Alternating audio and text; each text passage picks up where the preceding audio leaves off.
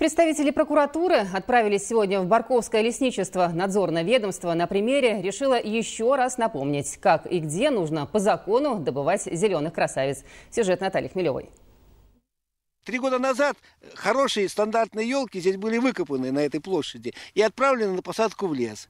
А вот эти нестандартные елочки, они остались. Вот так и получается плантация новогодних елок. Ну, конечно, сегодня в центре внимания не эти крохи, их и в траве-то еле разглядишь, а их старшие сестрицы. Интересно, сколько лет росла такая вот маленькая елочка? Это можно посчитать по ежегодному приросту. Вот видите, вот это называется мутовка одна. Видите, вот веточки крупные идут вот в этом месте.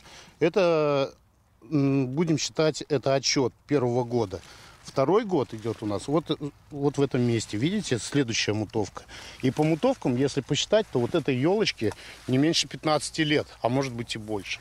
Средний возраст нынешних новогодних елей около 10 лет. Рубить их ради праздника, конечно, жалко, но иначе, говорят лесники, никак. Во-первых, для этого их и сажали, а во-вторых, растут они здесь кучно, а это деревьям не на пользу. А потому, если кто хочет елочку, можно приехать и выбрать ее лично.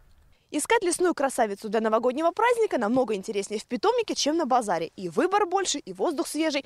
А еще можно встретить не только дикого корреспондента, но и какое-нибудь животное. Иногда сюда забредают лисы, зайцы и даже кабаны. А вот желающих сэкономить и просто зайти с топором в ближайший лес специалисты предупреждают. Такая погоня за выгодой может обернуться уголовным делом и серьезным штрафом. Ведь вырубки в лесных хозяйствах, а тем более на частной территории, строго запрещены. Если вы совершаете э, незаконную рубку в лесу, то ответственность наступает уголовная в случае, если ущерб превышает более 5000 рублей. Но хочу предупредить, что иногда достаточно одного дерева, одного срубленного дерева для того, чтобы ущерб перевалил за более чем 5000 рублей. Так что купить елку все же безопаснее, а в лесопитомнике еще и дешевле, чем на том же базаре. Только вот заглядывают сюда новгородцы все реже, жалуются лесники. Глядишь, скоро и вовсе перестанут приезжать.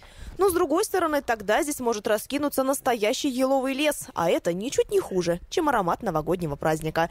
Из Новгородского района Наталья Хмелева, Андрей Шестаков. Новости. Новгородское областное телевидение.